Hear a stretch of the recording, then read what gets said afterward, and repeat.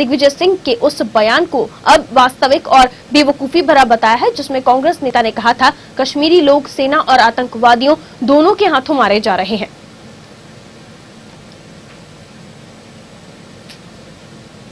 दिल्ली में एमसीडी चुनाव को लेकर प्रचार जोरों पर है। मुख्यमंत्री अरविंद केजरीवाल ने वार्ड निन्यानवे से चुनाव लड़ रही आप प्रत्याशी के लिए प्रचार किया और एक सभा को संबोधित किया और कहा पिछले दो सालों से पानी फ्री करने के साथ बिजली के आधे बिल किए जाएँगे। हमने इन दो सालों में बिजली के रेट नहीं बढ़ाए हैं। दिल्ली के लोगों का मूड फिर से आम आदमी पार्टी की ओर है। वहीं आप प्रत्याशी ने गुंज, प्रत्याशी गुंजन गोयल ने वार्ड को अच्छा बनाने की बात कही।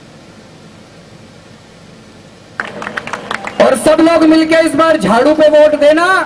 इन लोगों ने चारों तरफ़ कूड़ा ही कूड़ा फैला रखा है। जैसे आपके बिजली के रेट कम करे, जैसे आपका पानी मुफ़्त करा, आम आदमी पार्टी को वोट देना। एक साल के अंदर दिल्ली चमका के दिखा देंगे हमारा वादा है। देखिए हम लोग सिर्फ़ तीन ही मुद्दों पे लड़ाई लड़ रहे हैं, पढ़ाई, सफ़ाई और दवाई। शिक्षा के मामले में जो हमने एक सफल मॉडल दिल्ली सरकार ने, आम आदमी पार्टी की सरकार बनने के बाद हमने दिल्ली सरकार के स्कूलों में अपनाया है। वही सेम मॉडल के बेस पे हम निगम के स्कूलों में भी काम करेंगे। कंप्यूटर लैब सेटअप का स्विमिंग पूल बनाने का जो सपना है, एक निगम के स्कूल के बच्चे को भी वो सारी चीज़ें मुहैया कराने की कोशिश पूरी रखेंगे, जो कि अभी तक जिससे वो वंचित रहे। पूर्व राष्ट्रपति डॉक्टर सर्वपल्ली